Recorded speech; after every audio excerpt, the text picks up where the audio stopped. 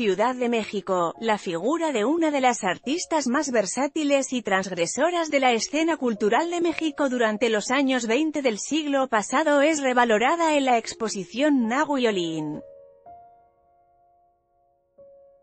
La mirada infinita, que se presentará a partir del 15 de junio en el Museo Nacional de Arte, MUNAL, se trata de la primera exposición que dedica este recinto museístico a María del Carmen Mondragón. Valseca, 1893 a 1978, mejor conocida como Nahui Olin, integrada por 250 obras nacionales entre pinturas, impresos, dibujos, caricaturas y fotografías de su autoría y de artistas allegados a ella como Gerardo Murillo, Dr.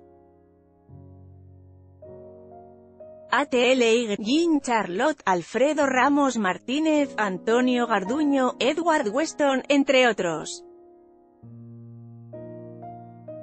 Foto, cortesía a 40 años de su muerte tenemos que dejar claro sus dos grandes legados, un legado tangible que está representado en los cinco libros que publicó en vida, en sus cuadros, dibujos y grabados, pero también el legado intangible que está representado por su sentido absoluto y poderoso de libertad que aplicaba en todas sus acciones y los procesos internos del espíritu que tenía muy en cuenta, explicó el responsable del concepto original de la muestra, Tomás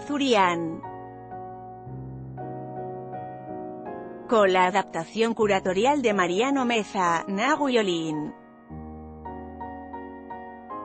La mirada infinita se divide en cuatro núcleos temáticos. En el primer bloque titulado Carmen Mondragón y la síntesis plástica, se muestra su inquietud por las artes plásticas en expresiones como la caricatura y el arte intuitivo durante los años de la Primera Guerra Mundial, época en la que estuvo casada con Manuel Rodríguez Lozano.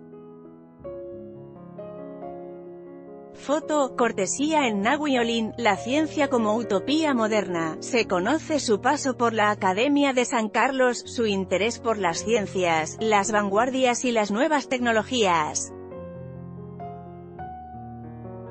También queda de manifiesto su relación con Gerardo Murillo, doctor.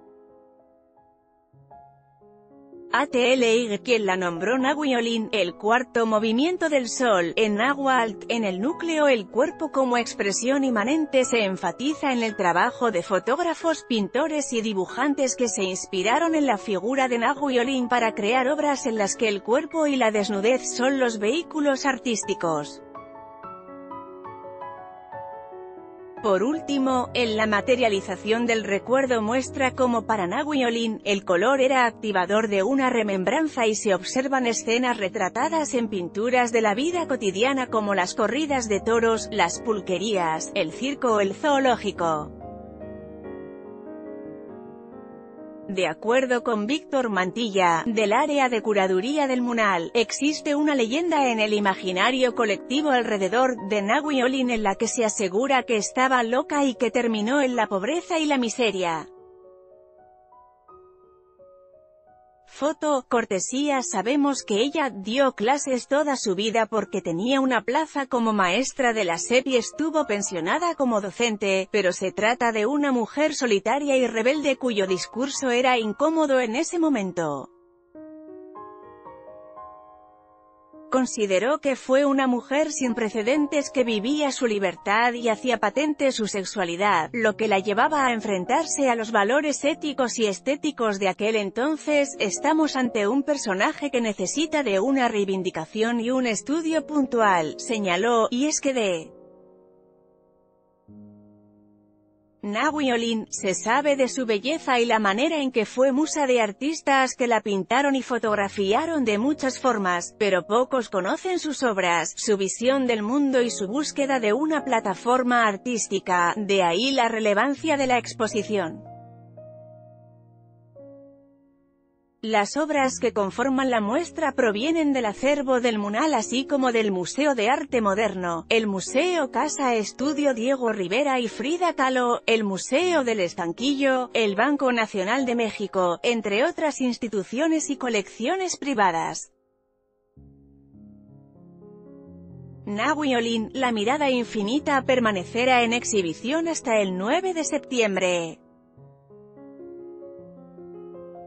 La finalidad de enriquecer la exposición el Munal ofrecerá un programa de actividades paralelas que incluyen conferencias con especialistas y un ciclo de cine comentado con la participación de Joaquín Rubio Salazar. En esta nota, Cultura Artistas Años 20 México Munal Siglo Pasado Exposición Nahuiolín